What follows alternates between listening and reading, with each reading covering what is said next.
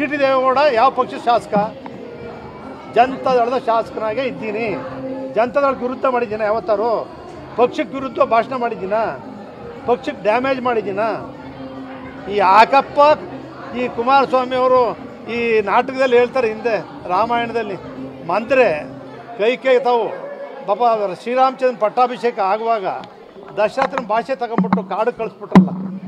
ಬರ್ತಾ ಬಂದು ಪಾದುಕೆ ಇಟ್ಕೊಂಡು ಪೂಜೆ ಮಾಡ್ತಿದ್ದೆ ನನಗೆ ಕೈಕೆ ಆ ಶಕುನಿ ಕೌರವನ ಜೊತೆ ಸೇರ್ಕೊಂಡು ಕೌರವನ ವಂಶನೇ ನಾಶ ಮಾಡ್ತಾನೆ. ಮಂದ್ರೆ ಶಕುನಿ, ಇಂಥವ್ರ ಮಾತು ಕೇಳಬೇಡಿ.